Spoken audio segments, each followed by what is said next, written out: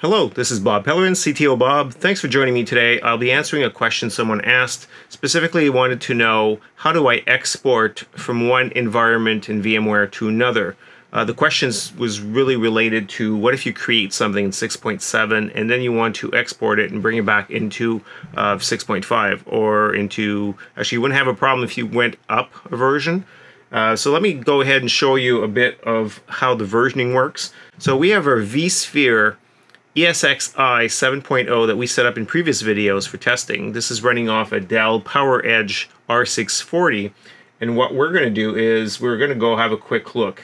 So if I go select, I'm going to pick a, something at random here, a Windows 10 machine. This is a, an evaluation 10 in there that uh, basically is there to test.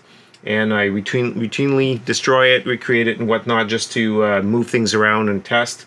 So if I were to go into actions and go to upgrade VM compatibility, this is where I could select what I want to have from a version point of view. And if I were to select ESX7, for example, and click on upgrade, then, then it'll tell me that it won't be compatible with previous versions. I'm going to go ahead and say OK. And now I'm on version 7 for Windows 10, that VM. Now, if I were to export it, and want to bring it back to a 6.7, then I would have a different problem because it would recognize that it's a different higher version and would refuse and give us some errors. So first off, to export, very simple, you right click or as I did previously, you just click on the action, it's same thing really, and then you're gonna go here and click on export and I'm gonna go and select what I have here, which is uh, the OVF we don't need the MF, but it's by default, and the VMDK. So I'm going to go ahead and do an export, and it's going to ask me where do I want to export it to. I'm going to go ahead and save it, and I'm doing this for all of these. And so it's not terribly big, so it shouldn't take very long. And we do see the 50%. Sometimes it hangs there for a little while. And what you'll see is I'm setting it to downloads demo in this case and so it will end up in this location. So here we go, this is finished. And before we go much further, if you enjoy these videos or these types of videos, please give us a thumbs up. And of course, please help us out by subscribing. It really does help. And let's get back to this. So the hardware, virtual hardware version, let's talk about that for one little second. What I've got here is just an explanation so we'll see is that version 17 is the current version, the most latest as of this video, and it is version 7.0, which is the, the last version that we covered recently. Uh, if we go back, you'll notice that some of the versions are have to do with Workstation Pro, Player, and Fusion, such as 16. Uh, if we go back in the past, we have 6.7, U2, and so forth. Now, if you want to make it more compatible, this is going to be important because we need to know what version you'll need in the future. Uh, of course, you can go and alter this as I'll show you in a moment. So right now we have just set that virtual machine to ESXi 7. So I'm assuming, and we'll check in a moment, that we should be able to see in the configuration number 17. And this is going to be important in a sec. So what we're going to do is we're going to go ahead and so this is where this ended up. So what we have is an OVF file, which is very small, 15K, and we have a VMDK, which is the actual disk of this machine.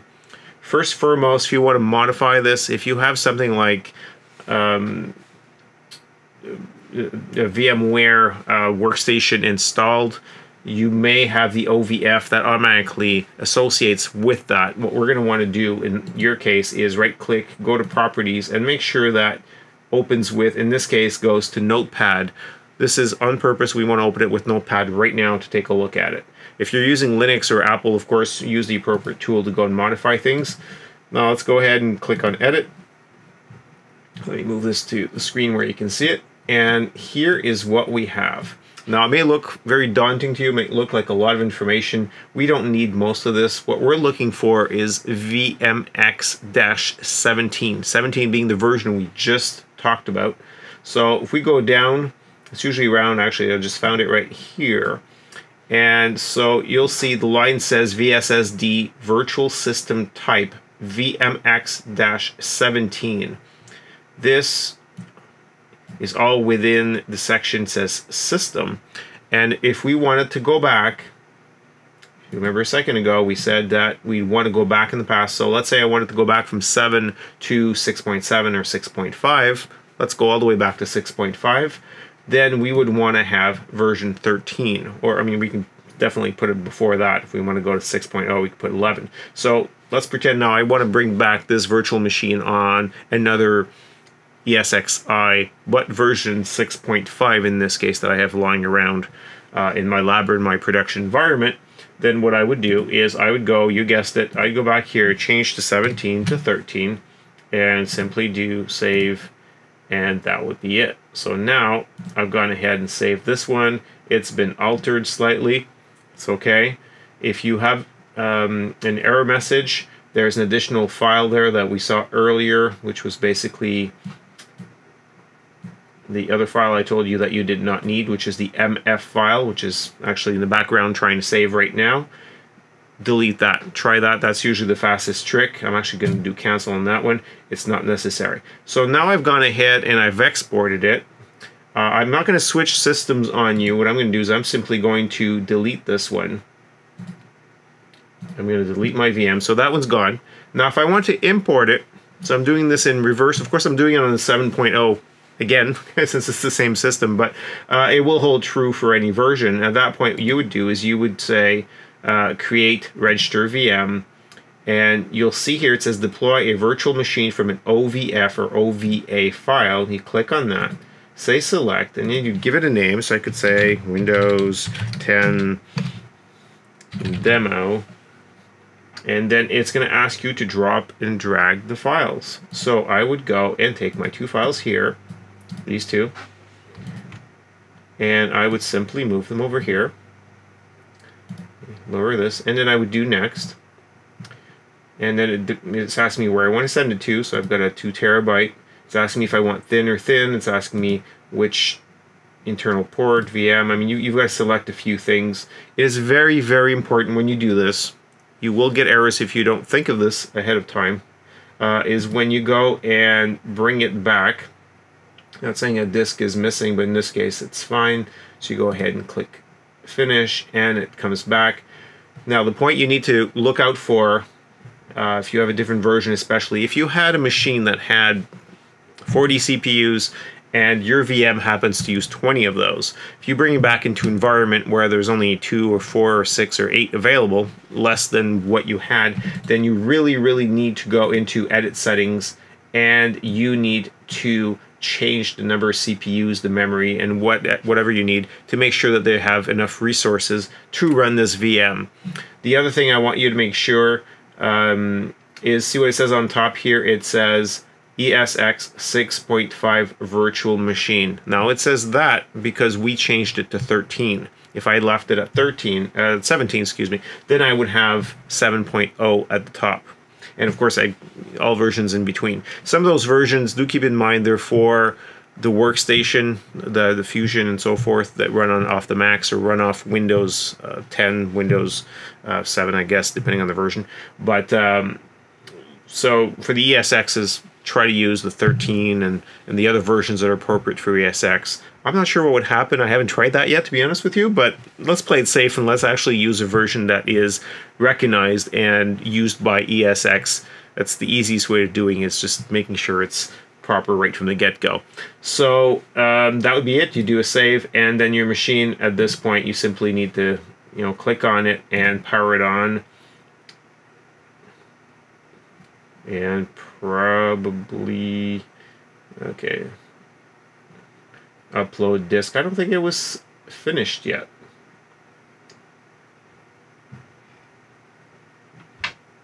Yes. Okay. It's also important to make sure that it is finished copying over before you try to do too many things to it. Um, in my haste, I hadn't noticed that we're at 52% uh, for the disk on the bottom, so editing anything at this point is pointless. He'll just give you a message at the bottom that says failed, so you're going to have to be a little patient. So I'm going to wait for this to finalize. Now while we're waiting for this to complete, one of the things that uh, you're probably going to wonder, or some of you are going to ask me, uh, what's why do we have these hardware versions? This has to do with obviously the advancements when you get from a let's say an ESX 5.5 to 7 uh, or to 6 or to 6.5 the changes really are at the hardware level so you've got new cpus have new capabilities they'll have features built in they'll have uh, potentially uh, encryption chips built into the motherboard they'll have so there's more and more pieces that get added to the esx as it goes along uh, not only drivers but plain functionality things that get added. So when you have a version a virtual hardware version when it's very old, it may limit you to certain things that would then become available if you had a higher version. So, so you can move forward. You can take a machine that was originally done for 10 or 12 or 13 uh, and run it on 7 as you saw. If I go into here, okay, so now my machine is finally here and now I can click on it and I can power it up. I can do edit. I can go and take a look at it and it says ESXi 6.5, so it's virtual machine. And if I wanted to, I could go and modify things as required. So what we're going to do is,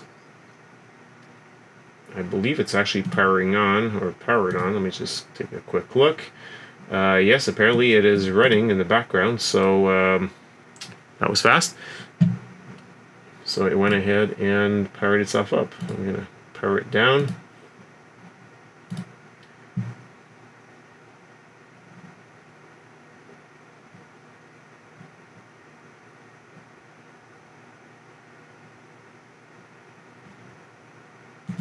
And now you have the ability to completely change it and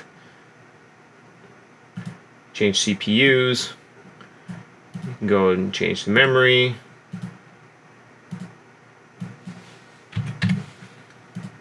And of course, if you need to increase disk space and so forth, this is when you do it. And then you would save it and power it on. And you can, of course, when you've if you ever bring it back to a different environment and you do want to bring it back up a version at that point it's again you go back here and you simply click on where it says upgrade VM compatibility and you could do this all over again and say ooh I want to have 6.7 U2 now and click on upgrade and do that so I hope this is a answer the question I hope it was useful this is Bob Pellerin please don't forget to subscribe if you can and uh, give us a thumbs up if you enjoyed this video. Leave comments below. You can always also reach us uh, through www.ctobob.com. Uh, this uh, the site is less and less used since we're using YouTube as a way of communicating with you at this point.